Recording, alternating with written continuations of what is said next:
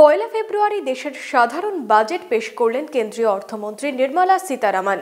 বাইশের বাজেটে ঘোষিত উল্লেখযোগ্য বিষয়গুলি কি কি? রাজনৈতিক মহলই বা কি বলছে বাজেট নিয়ে? দেখুন।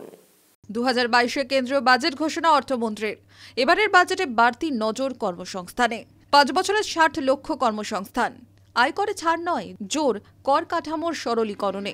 প্রধানমন্ত্রী আবাস যোজনায় আশি লক্ষ বাড়ি চলতি বছরে শুরু ফাইভ জি পরিষেবা, দেড় লক্ষ পোস্ট অফিসে ব্যাংকিং পরিষেবা, দেশের নিজস্ব ডিজিটাল মুদ্রা আনবে আরবিআই রাজ্যগুলিকে সাহায্য করতে এক লক্ষ কোটির তহবিল, চারশোটি নতুন সুপারফাস্ট বন্দে ভারত ট্রেন, পঁচিশ হাজার কিলোমিটার নতুন রাস্তা, পড়ুয়াদের সুবিধার্থে দুশোটি টিভি চ্যানেল জাতীয় পেনশন প্রকল্পে কর ছাড় চোদ্দ শতাংশ, চালু হচ্ছে চিপযুক্ত ই পাসপোর্ট পরিষেবা।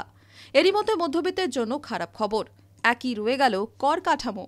এবারও অপরিবর্তিত আয়কর। নির্ধারিত সময় অর্থমন্ত্রীর বাজেট ঘোষণার পর সামনে এলো তালিকা।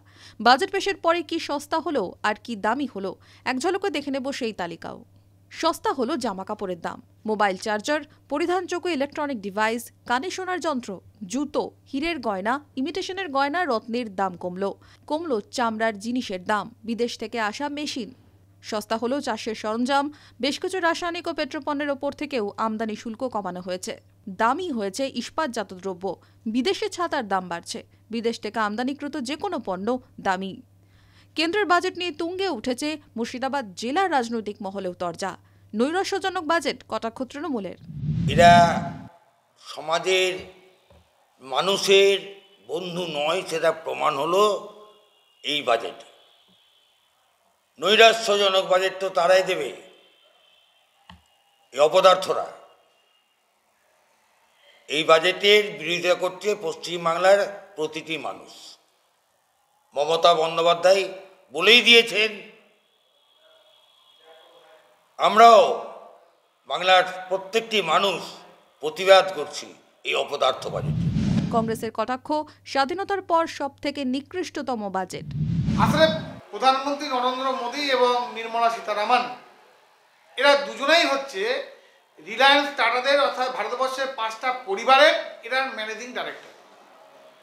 তিরিশ লক্ষ না ষাট লক্ষ কর্মসংস্থান দেবে থেকে প্রথম প্রধানমন্ত্রী হতে তিনি বলেছিলেন, ভারতবর্ষে আমি এত কোটি বেকারের চাকরি করে দেবো। যে সার্বভৌম ধর্ম নিরপেক্ষ এবং উন্নয়নশীল ভারতবর্ষকে কতটা দুর্বল করতে পারি আমার জামানায় আমি সেটাই বিদেশের কাছে আমি তুলে ধরতে চাই। তাই নরেন্দ্র মোদী এবং সীতারামনের এই বাজেট জনমুখী নয় জনহিতকর নয় জনক্ষতিকর একটা বাজেট। যদিও বিরোধীদের কটাক্ষ উড়িয়ে বিজেপির দাবি জনদরদি এই বাজেট। এই বাজেট সারা দেশের মানুষের সার্বিক কল্যাণ সাধনের জন্য বাজেট। এই বাজেটের মধ্যে দিয়ে ভারতবর্ষ আগামী দিনে নতুনভাবে গড়ে উঠবে। আর বিরোধীরা প্রতিনিয়তই কেন্দ্রের উন্নয়ন সহ্য করতে না পেরে ভুল বকে, একইভাবে কেন্দ্রের বাজেটকে সহ্য করতে পারে না, তাই তারা সমালোচনা করছে।